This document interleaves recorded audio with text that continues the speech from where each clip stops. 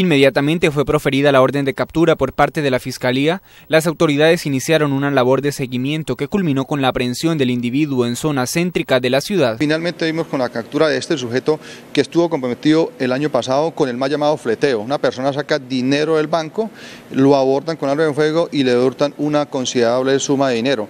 Finalmente se da la orden judicial y se hace efectiva por parte de nuestra Policía Judicial. Según las autoridades, este delito que era frecuente en el área metropolitana ha venido disminuyendo gracias a que se han incrementado los controles en las entidades bancarias. Es importante aclarar que este delito, mal llamado fleteo o hurto agravado, lleva una importante reducción en lo que ha corrido el año. Hemos tratado eh, de hacer primero las campañas de prevención en los bancos de, la ciudad, los que más injerencia tienen eh, con este delito y la parte importante es en la calle, la requisa a las personas que hacen la fila, los marcadores, porque hemos tratado de identificar cómo es eh, el modus operandi toda la cadena delincuencial y hemos logrado eh, desarticular y darle duros golpes a estas bandas dedicadas a este delito. También las personas que realizan movimientos bancarios se han venido acostumbrando a utilizar los servicios de acompañamiento que ofrece la policía. Es importante y de pronto la, la gente ya también ha asumido esa cultura.